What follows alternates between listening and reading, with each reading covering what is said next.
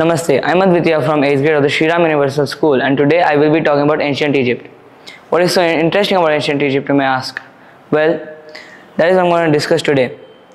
Ancient Egypt was a land filled with clever and powerful people. Now, why am I bringing this topic you may ask? Well, this is because I have some bad news and some good news. I'll start with the bad news first because the good news would not make sense. The bad news is that the Egyptian government has decided to start a project of restoring the pyramids to the original look. This is bad because it will destroy the original beauty of the pyramids of Giza.